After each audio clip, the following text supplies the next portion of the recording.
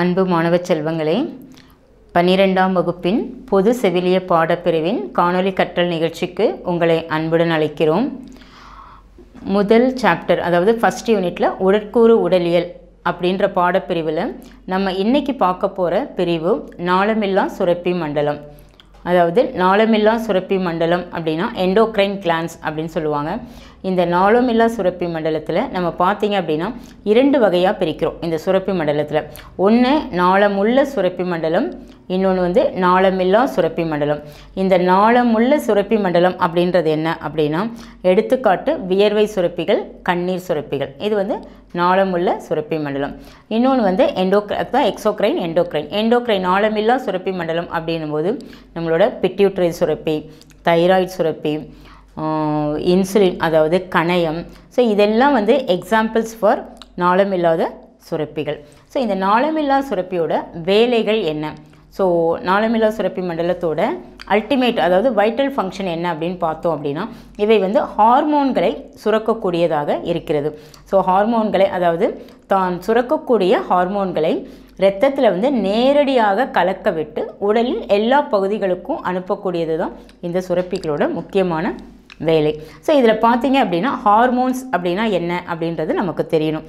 அதாவது ஹார்மோன்கள் என்பவை நாளமில்லா சுரப்பிகளில் சுரக்கும் சுரப்பு நீரில் காணப்படும் ஒரு வேதிப்பொருளாகும் அதாவது இந்த நாளமில்லா சுரப்பில் இருக்கக்கூடிய ஒரு கெமிக்கல் காம்போனன்ட்ஸை தான் நம்ம என்னென்னு சொல்கிறோன்னா ஹார்மோன்ஸ் அப்படின்றோம். இந்த ஹார்மோன்களோட முக்கிய வேலை என்ன அப்படின்னா உடலின் இயக்கங்களை கட்டுப்படுத்தக்கூடியதாக இருக்கிறது. ஸோ எல்லா ஹார்மோன்ஸ்க்குமே வந்து பாடியில் வந்து ஒரு இம்பார்ட்டண்ட் ரோல் இருக்கும். ஸோ அந்த உடல் இயக்கங்களை அதாவது உடல் செயல்முறைகளை வந்து கட்டுப்படுத்தக்கூடிய ஒரு பகுதி பொருட்களாக இந்த ஹார்மோன்கள் அமைந்துள்ளது. ஸோ என்னென்ன ஹார்மோன்கள் எந்தெந்த சுரப்பியிலேருந்து சுரக்குது அப்படின்றத தான் நம்ம இந்த வகுப்பில் பார்க்க போகிறோம் ஸோ இந்த இமேஜ் பார்த்தீங்கன்னா உங்களுக்கு நல்லா தெரியும். நாளமில்லா சுரப்பிகள் என்ன கிளாண்டு கொடுத்துருக்காங்க? எண்டோ கிரைன் கிளான்ஸ் ஸோ இந்த எண்டோக்ரைன் கிளான்ஸில் ஸோ நாளமில்லா சுரப்பிகள் எங்கெல்லாம் இருக்குது அப்படின்னு பார்த்தா முதல்ல என்ன கொடுத்துருக்காங்க? ஹைப்போத்தாலமஸ் ஒன்று கொடுத்துருக்காங்களா ஸோ இந்த ஹைப்போதாலமஸ்ன்றது எங்கே காணப்படுது? நம்மளோட மூளை பகுதியில் காணப்படுது. அடுத்தது பீனியல் கிளாண்டு கொடுத்துருக்காங்க. அப்புறம் தைராய்டு மற்றும் பேரத்தைராய்டு சுரப்பு. ஸோ நம்ம வந்து இந்த கழுத்து பகுதியில் காணப்படக்கூடியது தைராய்டும் பேரத்தைராய்டும் அதுக்கப்புறம் பார்த்திங்க அப்படின்னா பிட்யூட்டரி ஸோ பெட்டியூட்டரி சுரப்பியும் எங்கே இருக்குது? நம்மளோட தலைப்பகுதியில் இருக்கக்கூடியது மூளையில். அப்புறம் செரிப்பு மண்டலத்தில் அப்படியே வந்தோம் அப்படின்னா பேன்க்ரியாஸ் அதாவது கணையத்தில் காணப்படக்கூடிய ஒரு சுரப்பி அப்புறம் தைமஸ் கிளாண்டு கொடுத்துருக்காங்க. சிறுநீரகத்தில் காணப்படக்கூடிய அட்ரினல் கிளாண்டு கொடுத்துருக்காங்க. அதுக்கப்புறம் நம்மளுடைய இனப்பெருக்க உறுப்புகள். ஸோ அது பார்த்திங்கன்னா ஆண் இனப்பெருக்க உறுப்புகளில் அந்த விந்தகத்தில் இருக்கக்கூடிய ஹார்மோன்கள் அதே மாதிரி பெண் இனப்பெருக்க உறுப்புகளில் அண்டகத்தில் இருக்கக்கூடிய ஹார்மோன்கள் so testosterone oestrogen progesterone so இந்த ஹார்மோன்கள் வந்து உடலில் என்ன பயன்பாடுகள் எதுக்காக என்ன வேலை பண்ணுது அப்படின்றத தான் நம்ம இந்த சாப்டரில் பார்க்க போகிறோம் ஸோ முதல்ல ஹார்மோன்கள் வந்து உடலோட முக்கிய வேலை என்னென்னா உடலின் இயக்கங்களை கட்டுப்படுத்துவது அப்படின்றத நம்ம பார்த்தோம். ஸோ முதல்ல நம்ம பார்க்கக்கூடிய ஹார்மோன் என்ன அப்படின்னா பிட்யூட்டரி கிளாண்ட் அதாவது பிட்யூட்டரி சுரப்பி. ஸோ இந்த பிட்யூட்டரி சுரப்பி வந்து நாளமில்லா சுரப்பிகளுக்கே வந்து ஒரு ஹெட்டு அதாவது நாளமில்லா சுரப்பிகளோட தலைவன் தான் வந்து பிட்யூட்டரி கிளாண்ட் அதாவது ஹைப்போதாலமஸ்க்கு கீழே அமைந்துள்ளது. ஸோ இதோட வெயிட் பார்த்தீங்க அப்படின்னா பாயிண்ட் ஃபைவ் கிராம் அதாவது மிகவும் சிறியதாக இருக்கக்கூடியது இந்த பிட்யூட்டரி சுரப்பி. ஸோ இந்த பிட்யூட்டரி சுரப்பியிலேருந்து தான் நிறைய ஹார்மோன்கள் வந்து செக்ரேட் ஆகி அதாவது நிறைய உடல் உறுப்புகளை வந்து கட்டுப்படுத்தக்கூடியதாக இருக்கிறது. ஸோ இந்த பிட்யூட்டரி சுரப்பியோட நம்ம இமேஜ் பார்க்குறோம்ல அந்த இமேஜில் பார்த்தீங்க அப்படின்னா என்னென்னலாம் ஹார்மோன்ஸ் அதில் இருக்குது பாருங்கள் ஏடிஹெச் இருக்குது ஆக்சிடோசின் இருக்குது அதுக்கப்புறம் பார்த்தீங்க அப்படின்னா அதில் வந்து எதை சொல்கிறது ப்ரொலாக்டின் இருக்குது க்ரோத் ஹார்மோன் இருக்குது ஸோ வளர்ச்சிக்காக பயன்படக்கூடியது அடுத்து சினைப்பையில் இருக்கக்கூடியது. அதுக்கப்புறம் பார்த்தீங்க அப்படின்னா டெஸ்டிஸில் இருக்கக்கூடியது டெஸ்டோசிரான் ஸோ அப்புறம் நம்மளோட அட்ரினல் சுரப்பி. ஸோ எல்லா ஹார்மோன்களையும் அதாவது முக்கியமாக வந்து ஒரு வைட்டல் ரோல் ப்ளே பண்ணுறது என்ன அப்படின்னா அது வந்து பெட்யூட்டரி சுரப்பி தான் ஸோ இந்த நம்ம முதல்ல இதில் அதுக்கு அடுத்தது என்ன பார்க்க போகிறோம் அப்படின்னா தைராய்டு சுரப்பி. ஸோ இந்த தைராய்டு சுரப்பி ஹார் தைராய்டு சுரப்பி தைராய்டு அப்படின்ற பகுதி தைராய்டு சுரப்பி எங்கே அமைந்துள்ளது அப்படின்னா நம்மளோட கழுத்து பகுதியின் முன்பரப்பில் அமைந்துள்ளது. இதோட வெயிட் பார்த்தீங்க அப்படின்னா இருபத்தெட்டு கிராம் கொடுத்துருக்காங்க. இந்த தைராய்டு சுரப்பி வந்து தைராக்சின் மற்றும் ட்ரைதைரானின் ஹார்மோன்களை சுரக்கிறது. ஸோ இந்த தைராய்டு ஹார்மோனில் பார்த்தீங்க அப்படின்னா நம்ம வந்து T three T four TSH அப்படின்னு சொல்லுவாங்க. ஸோ இந்த தைராய்டு ஹார்மோன் வந்து நமக்கு நார்மல் லெவலில் சரியான லெவலில் இல்லை அப்படின்னா ஹைப்போ தைராய்டிசம் சொல்லுவாங்க. ஹைப்பர் தைராய்டிசம் அப்படின்னு சொல்லுவாங்க. ஸோ ஹைப்போதைராய்டிசம் அப்படின்னா என்ன அர்த்தம் அப்படின்னா தைராய்டு ஸ்டிமுலேட்டிங் ஹார்மோனோட அளவு வந்து அதிகமாக இருக்கும். ஸோ நம்ம உடம்புல வந்து தைராய்டு சுரப்பி வந்து கம்மியாக இருக்கிறதுனால இந்த டிஎஸ்ஹெச் டிஎஸ்ஹெச்ன்றது தைராய்டு ஸ்டிமுலேட்டிங் ஹார்மோன் இந்த தைராய்டு ஸ்டிமுலேட்டிங் ஹார்மோன் என்ன பண்ணும்? ரொம்ப வேகமாக வந்து வேலை பண்ணக்கூடியதாக இருக்கும். ஸோ அதை வந்து நம்ம என்ன சொல்கிறோம் அப்படின்னா டிஎஸ்ஹெச் இன்குலேஷன் அது வந்து ஹைப்போதைராய்டிசம் ஹைப்பர் தைராய்டிசத்தில் பார்த்தீங்க அப்படின்னா இந்த டிஎஸ்ஹெச் அப்படின்றது ரொம்ப ரொம்ப குறைவாக காணப்படக்கூடியதாக இருக்கும். ஸோ இதை வந்து நம்ம என்ன சொல்கிறோம் அப்படின்னா ஹைப்பர் தைராய்டிசம் அப்படின்னு சொல்கிறோம் ஸோ நம்ம இந்த தைராய்டு கிளாண்டுக்கும் அதுக்கு முன்னாடி நம்ம தைராய்டு கிளாண்டோட அமைப்பில் வந்து பாரதைராய்டு கிளாண்ட் அப்படின்னு ஒன்று இருக்குது ஸோ பாரதைராய்டு கிளாண்ட் அப்படின்றது தைராய்டு சுரப்பியில் காணப்படக்கூடியதாக இருக்கும். ஸோ இதோட பேரத்தைராய்டு கிளாண்டோட எத்தனைனா ஒரு ஃபோர் நம்பர்ஸ் இருக்கும். நான்கு பாரதைராய்டு கிளாண்ட் இருக்குது இந்த இமேஜில் உங்களுக்கு தெரியும். தைராய்டு சுரப்பியோட பின்புறத்தில் அமைந்துள்ளது. இதோட எடை பார்த்தீங்க அப்படின்னா ஜீரோ பாயிண்ட் ஃபைவ் கிராம்ஸ் அப்படின்னு கொடுத்துருக்காங்க. ஸோ இந்த பேராதைராய்டு ஹார்மோனோட பணிகள் வேலைகள் என்ன அப்படின்னு பார்த்தீங்கன்னா பேரத் ஹார்மோனை சுரக்கிறது. கால்சியம் மற்றும் பாஸ்பரஸ் போன்றவற்றை கட்டுப்படுத்துவதற்கு அதாவது கால்சியம் பாஸ்பரஸ் இதோட லெவலெல்லாம் வந்து மெயின்டைன் பண்ணுறதுக்கெலாம் வந்து ரொம்ப முக்கியமானது எது? பாரதைராய்டு ஹார்மோன். ஸோ அடுத்தது நமக்கு என்ன கொடுத்துருக்காங்க? தைமஸ் சுரப்பி. ஸோ இந்த தைமஸ் சுரப்பி அப்படின்றது தைராய்டு சுரப்பிகளுக்கு சற்று கீழாக அமைந்துள்ளது. ஸோ இது வந்து இதோட ஹார்மோன் பார்த்திங்கன்னா அதாவது தைமிக் ஹியூமரல் பேக்டர் அப்படின்ற ஒரு ஹார்மோனை தைமஸ் கிளாண்ட்லேருந்து சுரக்கக்கூடியதாக இருக்கிறது. ஸோ அந்த தைமஸ் கிளாண்ட் அப்படின்றது கொஞ்சம் ரொம்ப சின்னதாக காணப்படக்கூடியதாக இருக்கும். ஸோ அடுத்தது அட்ரினல் சுரப்பி.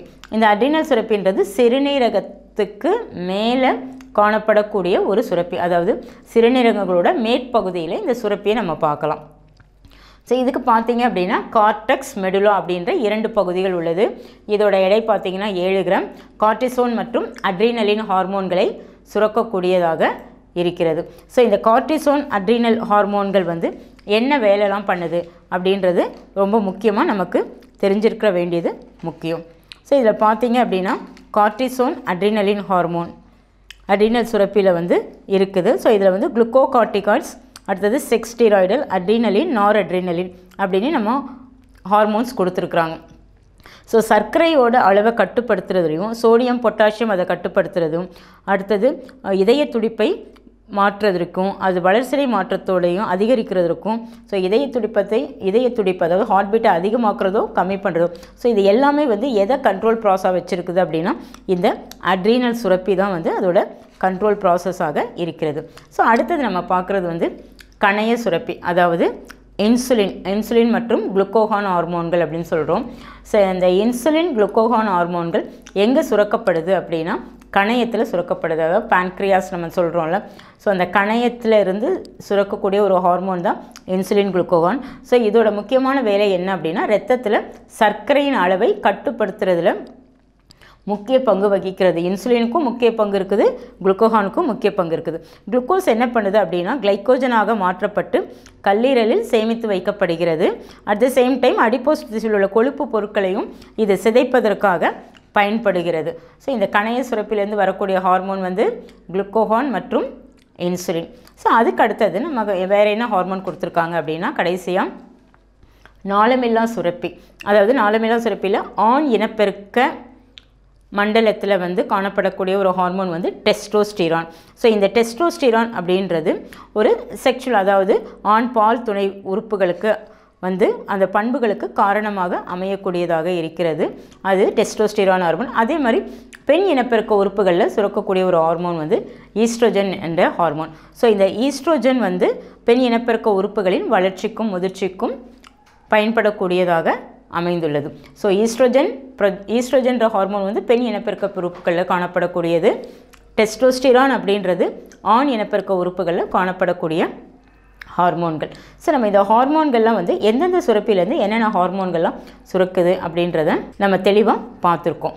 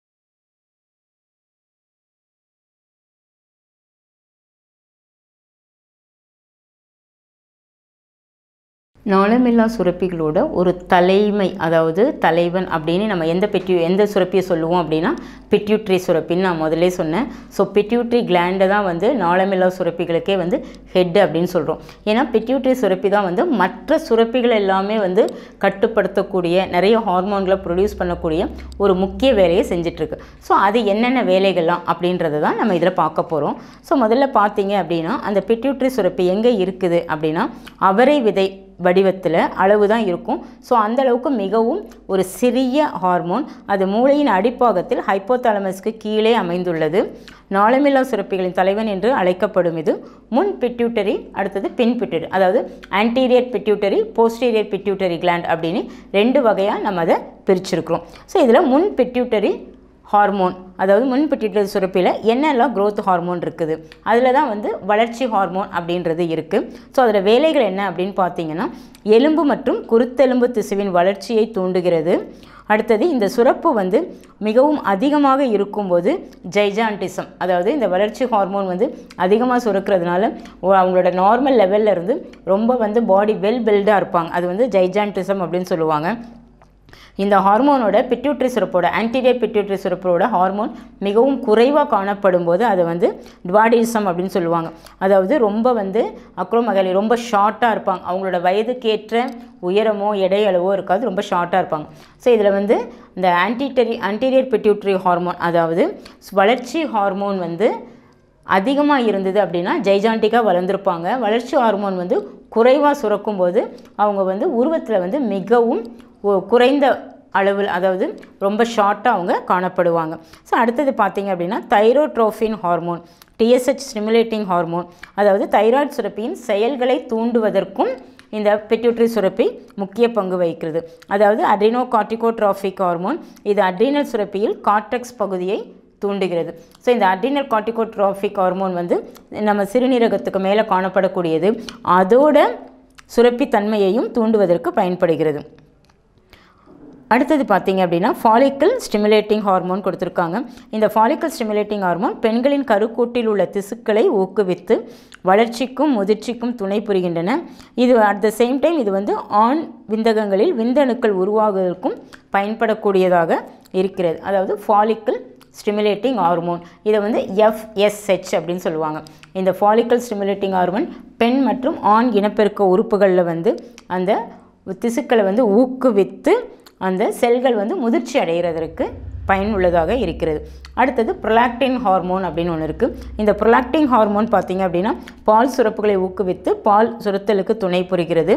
லியூட்டனைசிங் ஹார்மோன் இந்த லியூட்டனைசிங் ஹார்மோன் பெண்களின் கருவக வளர்ச்சியை ஊக்குவித்து ஊக்குவிக்க பயன்படுகிறது. அடுத்தது ஆண்களுக்கு பார்த்திங்க அப்படின்னா இன்டஸ்ட்ரிஷியல் செல்கள் அதாவது டெஸ்டோஸ்டிரான் ஹார்மோன் வந்து ப்ரொடியூஸ் ஆகிறதுக்கு இந்த லியூட்டனைசிங் ஹார்மோன் வந்து பயனுள்ளதாக இருக்கிறது. அடுத்தது இவ்வளோ நேரம் நம்ம பார்த்தது வந்து ஆன்டீரியர் பெட்யூட்டரி அதாவது முன் பெட்யூட்டரி சுரப்பி. அடுத்தது பின் புட்டி பெட்யூட்டரி சுரப்பி அதாவது போஸ்டீரியர் பெட்யூட்டரி கிளாண்ட் என்னென்ன அப்படின்னு பார்த்தோம் அப்படின்னா அதில் ஆக்சிடோசின் அப்படின்னு கொடுத்துருக்காங்க. ஆக்சிடோசின் அப்படின்ற ஹார்மோன் வந்து கருப்பையின் சுவர்களை சுருங்க வைத்து அதாவது குளவி அதாவது ஒரு சிசு வந்து பிறப்பதற்கு துணை புரிகிறது. இந்த ஆக்சிடோசின் அப்படின்றது யூட்ரஸ் கன்ட்ராக்ஷன் ஸோ பொதுவாக பார்த்தீங்க அப்படின்னா டெலிவரி டைமில் அதாவது குழந்தை வந்து யூட்ரஸ் நல்லா அதாவது கருப்பை வந்து சுருங்கி விரியும் போது தான் உள்ள யூட்ரஸ்குள்ளே இருக்கக்கூடிய பாப்பா வந்து வெளியில் வர்றதுக்கு அது ஏதுவாக இருக்கும். ஸோ நார்மல் டெலிவரியில் ஸோ இந்த மாதிரி கருப்பை சுருங்கி விரியறதற்கு இந்த ஆக்சிடோசின் அப்படின்ற ஹார்மோன் வந்து பயனுள்ளதாக இருக்கிறது இந்த ஆக்சிடோசினை வந்து இன்ஜெக்ஷன் மூலமாகவும் நோயாளிக்கு நம்ம என்ன பண்ணுவோம்? கொடுக்க வேண்டியது இருக்கும். ஸோ மருத்துவர்கள் வந்து இந்த டெலிவரி டைமில் இந்த இன்ஜெக்ஷன்ஸை பயன்படுத்துவாங்க. ஸோ இந்த ஆக்சிடோசின் அப்படின்றது போஸ்டீரியர் பிட்யூட்டரி கிளாண்டில் சுரக்கக்கூடிய ஒரு ஹார்மோன் அடுத்தது பார்த்தீங்கன்னா வேசோப்ரெசின் ஸோ இந்த வேசோப்ரெசின் அப்படின்ற ஹார்மோன் வந்து இரத்த குழாய்களின் சுவர்களை சுருங்க வைக்கிறது. ஸோ இரத்த குழாய்களோட சுவர்களை சுருங்க பிளட் வெசல்ஸை வந்து கன்ஸ்ட்ரக்ட் பண்ண வச்சு இரத்த அழுத்தத்தை அதிகரிக்கிறது. வேசோப்ரெசினோட முக்கியமான வேலை என்னென்னா ப்ரெஷரை வந்து இன்க்ரீஸ் பண்ணும். ஸோ நோயாளிகளுக்கு இரத்த அழுத்தம் மிகவும் குறைவாக இருக்கும்போது இரத்த அழுத்தத்தை அதிகரிக்கிறதுக்கு இதை பயன்படுத்துவாங்க வேசோப்ரெஸ்ன்றது ஸோ நமக்கு வந்து அந்த போஸ்டீரியர் பெட்யூட்ரி கிளாண்ட் அதாவது பின் பிட்யூட்டரி சுரப்பி வந்து வேசோப்ரெசன் அப்படின்ற ஹார்மோனை வந்து ப்ரொடியூஸ் பண்ணி ரத்த இரத்த அழுத்தத்தை வந்து அதிகரிக்கிறதுக்கு பயன்படுகிறது. இதில் நம்ம என்ன பார்க்குறோம் அப்படின்னா பெட்யூட்டரி சுரப்பில் சுரக்கக்கூடிய இத்தனை ஹார்மோன்களும் வந்து மற்ற ஹார்மோன்களை ஊக்குவிக்கிறதுக்கும் மற்ற உறுப்புகளை கட்டுக்குள்ளே வைத்து செயல்பட வைக்கிறதுக்கும் முக்கியமாக பயன்படுகிறது. ஸோ நம்ம என்னெல்லாம் பார்த்தோம்? ஆன்டியூட்டர் ஆன்டீரியர் பிட்யூட்ரி பார்த்தோம். போஸ்டீரியர் பிட்யூட்ரி கிளாண்ட் பார்த்தோம். இந்த ஆன்டீரியர் பிட்யூட்ரி கிளாண்டில் வந்து க்ரோத் ஹார்மோன்றது ரொம்ப ரொம்ப முக்கியமானது.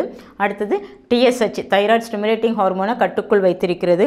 அதுக்கப்புறம் ஃபாலிக்கல் ஸ்டிமுலேட்டிங் ஹார்மோன் இருக்குது அதுக்கப்புறம் ப்ரொலாக்டின் இருக்குது லியூட்டனைசிங் ஹார்மோன் இருக்குது ஸோ அதில் போஸ்டீரியர் பிட்யூட்டரியில் அப்படின்னு நம்ம பார்க்கும்போது ஆக்சிடோசின் அடுத்தது வாசோப்ரெசின் ஸோ இதெல்லாம் வந்து பிட்யூட்டர் சுரப்பியில் சுரக்கக்கூடிய ஹார்மோன்கள் ஸோ நம்ம இதில் என்ன ஹார்மோன்லாம் பார்த்துருக்கோம்?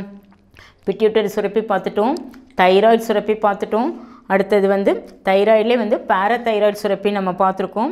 அட்ரினல் சுரப்பி பார்த்துருக்கோம் அட்ரினல் கிளான்ஸு அதுக்கப்புறம் ஐலட்ஸ் ஆஃப் லேங்கர்ஹன்ஸ் அதாவது கணையத்தில் ஏற்படக்கூடிய லேங்கர்ஹன்ஸ் திட்டுக்கள். ஸோ அதிலிருந்து சுரக்கக்கூடிய ஹார்மோன்கள் தான் இன்சுலின் மற்றும் குளுக்கோகான் அப்படின்னு நம்ம பார்த்துருக்குறோம். அடுத்தது இனப்பெருக்க உறுப்புகள். அதாவது ஆ- ஆண் இனப்பெருக்க உறுப்புகளில் இருக்கக்கூடிய டெஸ்டோஸ்டிரான் பெண் இனப்பெருக்க உறுப்புகள் கருப்பையில் இரண்டு பக்கம் இருக்கக்கூடிய ஈஸ்ட்ரோஜன் போன்ற ஹார்மோன்கள் எப்படி வந்து ஒரு சிசுவோட வளர்ச்சிக்கு பயனுள்ளதாக இருக்குது அப்படின்றத நம்ம இதில் தெளிவாக பார்த்துருக்கோம். அடுத்து நம்ம என்ன பார்க்க போகிறோம் அப்படின்னா இந்த நாளமில்லா சுரப்பி மண்டலத்தில் ஏற்படக்கூடிய பாதிப்புகள் நாளமில்லா சுரப்பி மண்டலத்தில் ஏற்படக்கூடிய பிரச்சனைகள் என்ன அப்படின்றத ஒரு சில பிரச்சனைகள் நமக்கு கொடுத்துருக்குறாங்க. அது என்னன்றதை ஒன் பை ஒன்னாக பார்க்கலாம்.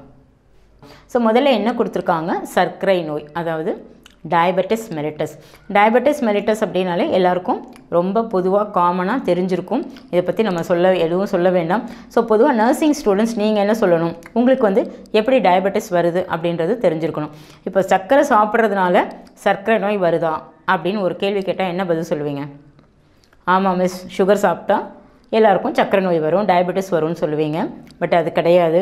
ஆனால் சர்க்கரை நோயாளிகளை நம்ம என்ன சொல்கிறோம் சுகர் சாப்பிடக்கூடாதுன்னு சொல்கிறோம் ஏன் அப்படின்னா அவங்களோட உடம்புல வந்து இந்த நம்ம இப்போ பார்த்தோம்ல ஐலட்ஸ் ஆஃப் லேங்கர்ஹன்ஸ் இந்த லேங்கர்ஹன்ஸ் செட்டுக்கள் ஸோ இந்த கணையத்திலிருந்து சுரக்கக்கூடிய இன்சுலின் அப்புறம் குளுக்கோகான் அப்படின்ற ரெண்டு ஹார்மோன்களோட உற்பத்தி இந்த ஹார்மோன் செக்ரிஷன் வந்து ரொம்ப கம்மியாக இருக்கும்.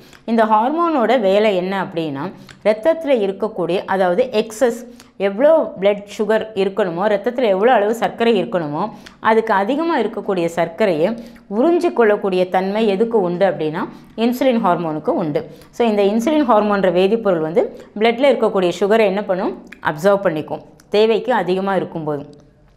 பட் நம்ம உடம்புல வந்து இந்த ஐரட்ஸ் ஆஃப் ஆங்கலன்ஸ் திட்டுக்களில் அதாவது இன்சுலின் உற்பத்தி இன்சுலின் சுரக்கிறது வந்து இந்த ஹார்மோன் ரொம்ப கம்மியாக இருக்கும்போது நம்ம என்ன சாப்பிட்டோமோ சாப்பிட்டு ப்ள- அதாவது குளுக்கோஸ் வந்து பிளட்டில் ஸ்டாக்னேட்டடாக இருக்கும். நம்ம ரத்தத்தில் குளுக்கோஸ் எப்படி வருது? நம்ம சாப்பிடக்கூடிய கார்போஹைட்ரேட் அதாவது மாவுச்சத்து நிறைந்த கார்போஹைட்ரேட் பொருட்கள் எல்லாமே வந்து டைஜஸ்ட் ஆகி அது ரத்தத்தில் கலக்கிறதுக்கு என் ப்ராடக்ட் என்ன என் ப்ராடக்டாக மாற்றப்படும் அப்படின்னா குளுக்கோஸாகவும் கிளைக்கோஜனாகவும் தான் மாற்றப்படும். ஸோ ரத்தத்தில் எப்படி தான் உறிஞ்சு கொள்ளப்படும் கார்போஹைட்ரேட் குளுக்கோஸாக தான் உறிஞ்சு கொள்ளப்படும் ஸோ அதனால் அந்த குளுக்கோஸ் வந்து ரத்தத்தில் இருக்கும்போது இந்த இன்சுலின் ஹார்மோனோட சுரப்பு நமக்கு சரிவர இருந்ததுன்னா அது தேவையான அளவுக்கு மீறி இருக்கக்கூடிய சர்க்கரையை உறிஞ்சு கொள்ளக்கூடியதாக இருக்கும். ஸோ நமக்கு வந்து இன்சுலின் ஹார்மோன் கம்மியாக இருக்குது. அதனால் ரத்தத்தில் சர்க்கரையை உறிஞ்சிக்காமல் அது என்ன பண்ணும்?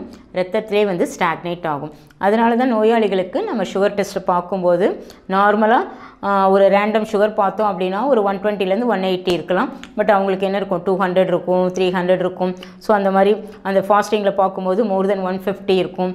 ஸோ இதெல்லாம் என்ன அர்த்தம் அப்படின்னா அவங்களுக்கு இன்சுலின் ஹார்மோனோட உற்பத்தி மிகவும் குறைவாக இருக்குதுன்னு அர்த்தம்.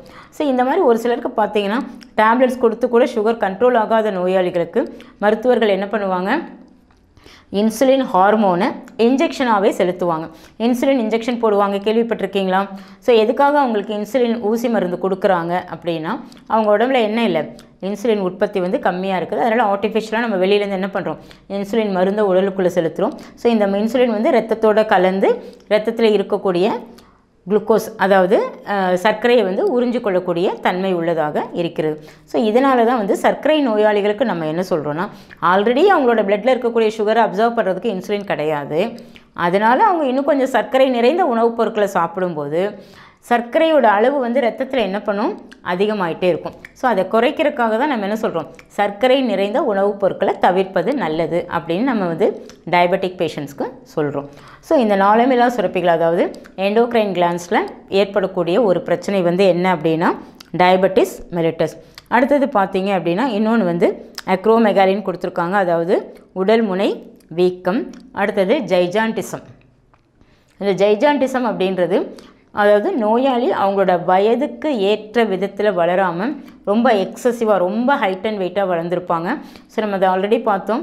எந்த ஹார்மோனால் அந்த வளர்ச்சி ஹார்மோன் க்ரோத் ஹார்மோன் வந்து அதிகமாக சுரக்கிறதுனால பெட்யூட்ரி கிளாண்டில் இருக்கக்கூடிய க்ரோத் ஹார்மோன் அதாவது ஆன்டிடேட் பிட்யூட்ரி கிளாண்ட்லேருந்து செக்ரேட் ஆகக்கூடிய ஒரு ஹார்மோன் தான் வந்து க்ரோத் ஹார்மோன் ஸோ இந்த க்ரோத் ஹார்மோன் வந்து அதிகமாக சுரக்கிறதுனால இந்த மாதிரி ஜைஜான்டிசம் நம்மளே சொல்லுவோம் ஜைஜான்டிக்காக வளர்ந்துருக்காங்கன்னு சொல்லி. ஸோ ரொம்ப உடல் பருமன் அளவுலேயும் உயரத்துலேயும் வந்து வளர்ந்து காணப்படுறது தான் நம்ம என்ன சொல்லுவோம் ஜைஜான்டிசம்ன்றோம் ஸோ அதுக்கு இந்த ஹார்மோன் காரணமாக அமைந்துள்ளது. அடுத்து நம்ம பார்க்குறது அதிலே இன்னொன்று என்ன கொடுத்துருக்காங்கன்னா டுவாட்டிசம் அதாவது வளர்ச்சி ரொம்ப குறைவாக காணப்படக்கூடியது.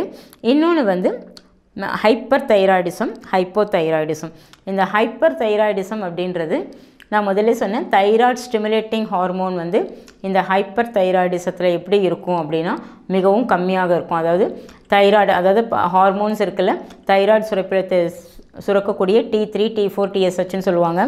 இதில் வந்து இந்த டிஎஸ்ஹெச்சோட அளவு ஹைப்பர் தைராய்டிசத்தில் வந்து ரொம்ப கம்மியாக இருக்கும். டி த்ரீ டி ஃபோர் வந்து அதிகமாக இருக்கும். அதே மாதிரி ஹைப்போ தைராய்டிசத்தில் டிஎஸ்ஹெச்சோட வேல்யூ வந்து அதிகமாக காணப்படும். ஏன்னா தேவையான அளவுக்கு அந்த தைராய்டு ஹார்மோன் இல்லை. தைராக்ஸின்றது. ஸோ அது மிகவும் குறைவாக இருக்கிறதுனால இந்த தைராய்டு ஹார்மோன் பிரச்சனையினால பார்த்தீங்க அப்படின்னா பொதுவாக வந்து பாடி வெயிட் அதிகமாக இருக்கும். அப்புறம் பேஷண்ட்ஸ் வந்து நிறைய பேருக்கு என்ன அப்படின்னா ரொம்ப டயர்டாக இருப்பாங்க. அவங்களுக்கு வந்து என்ன பண்ணுதுன்னே சொல்ல தெரியாது. அதாவது அவங்களோட ஹேர் ஃபால் நிறையா இருக்கும். ஸோ யங்ஸ்டர்ஸ்க்கு வந்து கேர்ள்ஸ்க்கு பார்த்தீங்கன்னா மென்ஸ்ட்ரல் irregularity இருக்கும். ஸோ இதெல்லாம் வந்து இந்த தைராய்டு ப்ராப்ளத்தினால ஏற்படக்கூடிய ஒரு சில டிஸார்டர்ஸ் ஸோ இவங்களுக்கெல்லாம் வந்து இந்த தைராய்டு ஹார்மோன் டெஸ்ட் எடுத்து நம்ம அதை வந்து ரெகுலேட் பண்ணோம் அப்படின்னா இந்த அவங்களோட இந்த பிரச்சனைகள்லாம் என்ன பண்ணும்? கொஞ்சம் கொஞ்சமாக ரிலீவ் ஆகும். ஸோ நிறைய பேருக்கு பார்த்தீங்கன்னா ப்ரெக்னென்ட் ஆகாமல் இருக்கிறாங்க அப்படின்னா அதுக்கே கூட இந்த ஹார்மோன் இஷ்யூஸ் இருந்துச்சு அப்படின்னா இந்த ஹார்மோனை வந்து கரெக்ட் பண்ண வேண்டியது இருக்கும்.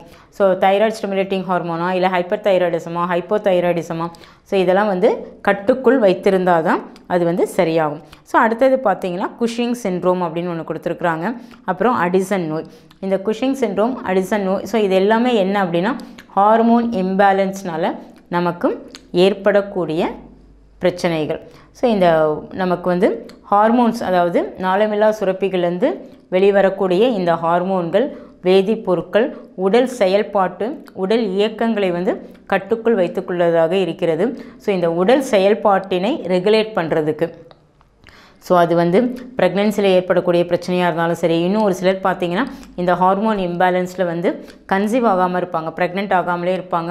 ஸோ இந்த ப்ரொலாக்டின் நம்ம ஆல்ரெடி சொன்னோம்ல ஈஸ்ட்ரோஜன் டெஸ்டோஸ்டிரான் இந்த ஹார்மோன்களோட வேரியேஷன் மாறுதல்கள் நிறைவு அதிகமாக இருக்கும்போது அவங்களுக்கு இந்த மாதிரி ஃபர்டிலிட்டி ப்ராப்ளம்லாம் வந்து நிறையா வரும். ஸோ அந்த இன்ஃபர்டிலிட்டி இஷ்யூஸில் வந்து ஹார்மோன்ஸோட லெவல் என்ன இருக்குது அப்படின்றத பரிசோதித்து அவங்களுக்கு அதுக்கு பேலன்ஸ்டாக என்ன மெடிசன்ஸ் கொடுக்கணும் அப்படின்றத பார்ப்பாங்க. ஸோ இதில் வந்து இந்த நம்ம பார்த்ததுலே பார்த்தீங்க அப்படின்னா எண்டோக்ரைன் கிளான்ஸ் வந்து பிட்யூட்ரி சுரப்பி நம்ம பார்த்துருக்குறோம். அதில் ஏற்படக்கூடிய பிரச்சனைகள் பார்த்துருக்குறோம். அடுத்தது தைராய்டு சுரப்பி பற்றி பார்த்துருக்குறோம். அதுக்கப்புறம் வந்து நம்மளோட அட்ரினல் கிளாண்டோட செக்ரேஷன் என்ன? ஸோ அது எப்படி வந்து ரத்த அழுத்தத்தெல்லாம் கட்டுக்குள்ளே வச்சுருக்கிறது? அடுத்தது நம்மளோட இனப்பெருக்க உறுப்புகளை காணப்படக்கூடிய டெஸ்டோஸ்டிரான் ஈஸ்ட்ரோஜன் ஹார்மோன்கள் பார்த்துருக்கோம்.